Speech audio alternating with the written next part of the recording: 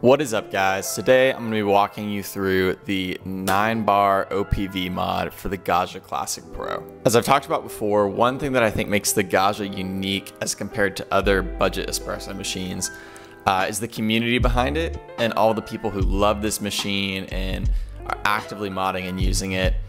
Um, and two, just the mods that you can do to this thing that leveled up and take it from like a $500 machine to easily over a $1,000 machine. And that's why I chose it. Out of the box, the Gaggia has a pressure of about 13 to 15 bars, which is a little bit higher than the industry standard of 9 bars.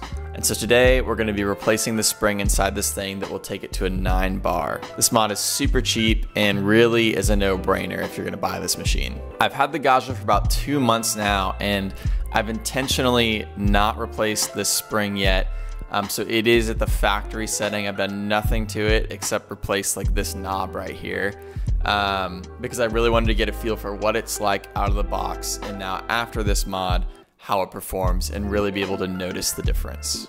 Supposedly this mod is supposed to help with channeling, uh, spurting, and overall just create a more consistent, dialed in shot and just make an overall better experience. One disclaimer is that doing this mod might void the warranty. I'm not totally sure on that. So just be careful, know what you're getting yourself into, but I knew buying this thing that I wanted to do this and this is a risk I'm willing to take. For this mod, all you're gonna need is a Phillips head screwdriver and a 10 millimeter wrench. A few things I'd recommend doing before starting this mod are emptying the boiler, making sure the water reservoir is taken out and emptied, um, and unplugging it.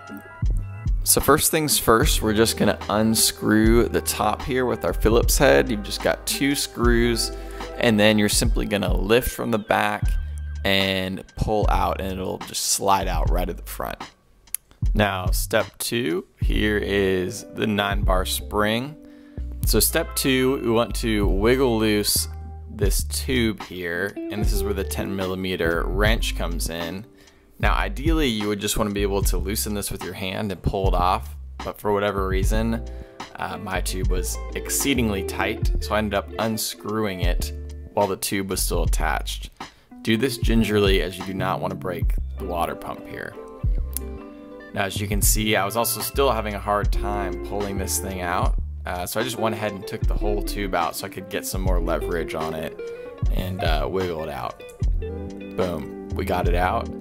So now we're just gonna take out that old spring, reinserting the tube here. Here's our new spring.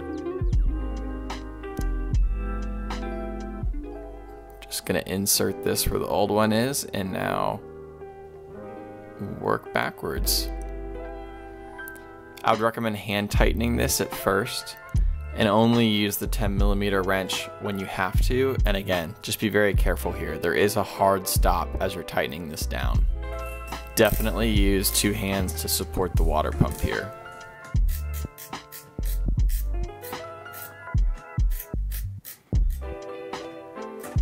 Boom. Got it tightened down. Thumbs up, we're good to go.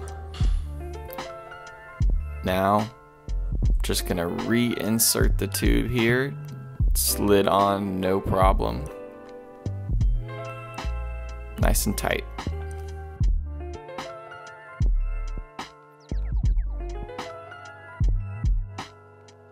We'll just pop the top back on screw it back in. Make sure you kept track of these little screws here because they are very easy to lose.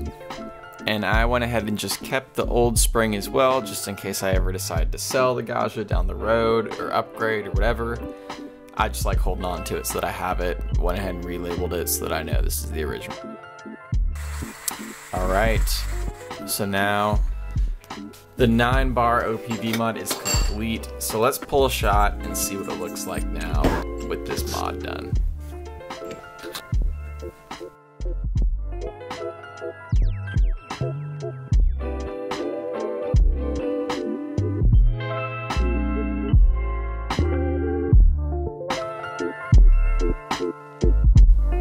Thanks for watching. Again, please consider liking and subscribing for more. Appreciate you guys.